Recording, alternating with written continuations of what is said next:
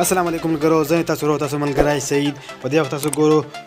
ټیکنیکل ورلد ملګرو نن موږ خبر کوو چې څنګه موږ په واتس اپ باندې لایو لوکیشن سند کوو راځو چې دا ویډیو تاسو پوره سره وګورو او شیر یې کو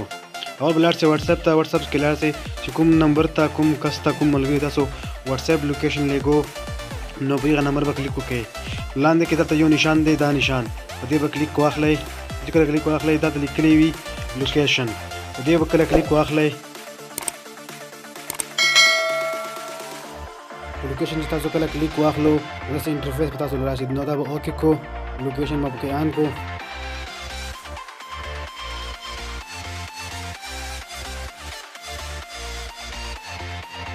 په دې باندې چې کله تاسو کلیک واخلو دا د لیکلي سند یور کن لوکیشن دا چې کله تاسو ورله سند کو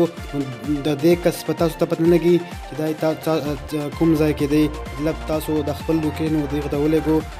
هغه کس تاسو ته پته نه لګي دا کوم ځای کې روان دی نو تاسو وایي چې موږ ته هغه لوکیشن د دې لوکیشن موږ ته پته ولګي دا کوم ځای کې روان دی نو یو ټپر به موږ لایو لوکیشن ورله سینډ کوو دا به لاړ شئ لوکیشن ته دلته کې د باندې سر کې لیکلي وي شیر لایو لوکیشن دا تاسو کله کلیک کو نو دله به لوکیشن ورله سینډ شي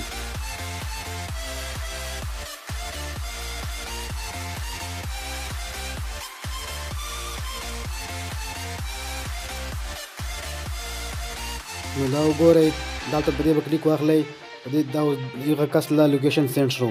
نو چې کله هغه کس هغه ځای نه را روان شي تاسو ته پته لګي دا کس دلته کې دی دلته کې روان دی دې ته وایي لایو لوکیشن که ویډیو مو سره خوښه شوه نو لایک کړئ کمنټ وکړئ چینل سبسکرایب کړئ او په ګنټه نشان باندې آل باندې کلیک وکړئ دې سره زموږ نوې ویډیو چې راځي تاسو له به نوټیفیکیشن ملاویږي